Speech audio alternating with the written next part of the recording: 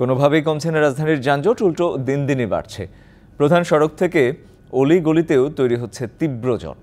সকাল, দুপুর, বিকাল কিংবা রাত সব সময়ই গন্তব্যে পৌঁছাতে নাজেহাল মানুষ। রাজধানীতে প্রবেশ ও রাজধানী থেকে বের হওয়ার মুখগুলোতেও যানজট। হিমশিম খাচ্ছেন ট্রাফিক ব্যবস্থাপনায় দায়িত্ব পালনকারীরা। প্রতিদিনই অপচয় হচ্ছে নগরবাসীর সময়, শ্রম, অর্থ ও মেধা। ঘটছে স্বাস্থ্যহানি। মানসিক অব- অবসাদগ্রস্ত হচ্ছেন অনেকে। যানজট মোকাবেলায় তৈরি ফ্লাইওভারগুলোর উপর নিচে গাড়ির দীর্ঘ দীর্ঘ সারি।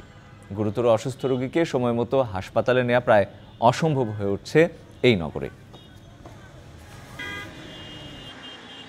যে জায়গায় মনে করেন আমরা চল্লিশ পঞ্চাশ মিনিট আইতে পারতাম সেই জায়গায় যাত্রী নিয়ে আইতে দুই ঘণ্টা আড়াই ঘণ্টা লাগতেছে। শারীরিকও সমস্যা মনে করেন অস্বস্তি লাগতেছে এই যে সারাক্ষণ গাড়িতে দাঁড়াই এবং এক জায়গায় বসে থাকতে। খুব সমস্যা লাগতেছে।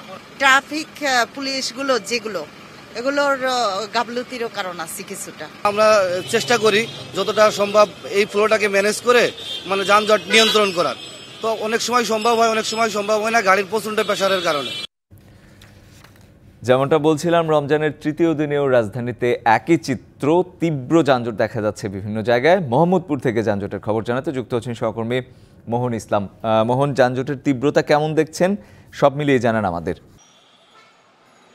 রঞ্জন আপনি যেমনটা বলছিলেন আজ রমজানের তৃতীয় রমজান সেই তৃতীয় রমজানে কিন্তু ধর্মপ্রাণ মুসলমান যারা রয়েছেন, তারা কিন্তু রোজা রেখেই বিভিন্ন অফিসে বা তাদের যে কার্যক্রম রয়েছে বা কাজ রয়েছে, সেখানে যোগদান করছেন।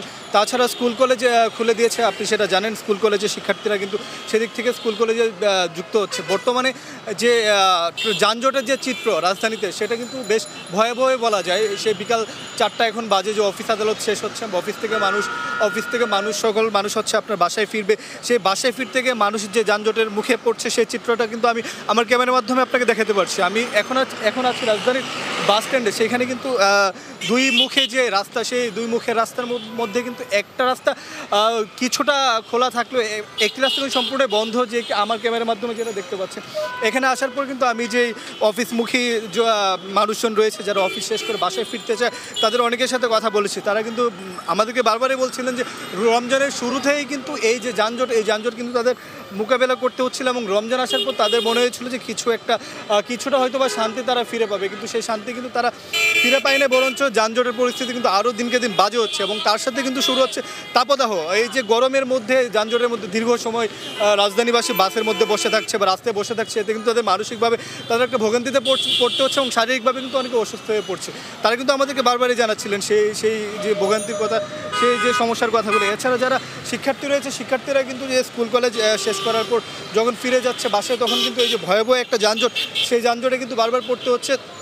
সেই সেই চিত্র কিন্তু আমাদের কাছে বারবার, আমাদের কাছে বারবার তুলে ধরছিল। তাছাড়া আমি আরেকটা বিষয় রঞ্জন জানিয়ে রাখি যে ট্রাফিক ম্যানেজমেন্ট সেটা কিন্তু বাংলাদেশে বা আমাদের ঢাকায়, আমাদের যে, আমাদের যেটা ট্রাফিক যানজট বা ট্রাফিক ম্যানেজমেন্ট সেটা খুব একটা ভালো দেখা যাচ্ছে না। আমাদের পুলিশের চেষ্টা করছে কিন্তু সেই সমাধান করতে পারছে না। রঞ্জন, এই ছিল মোহাম্মদপুর থেকে ট্রাফিক যানজট নিয়ে আমার কাছে সর্বশেষ। মোহন, আপনাকে ধন্যবাদ।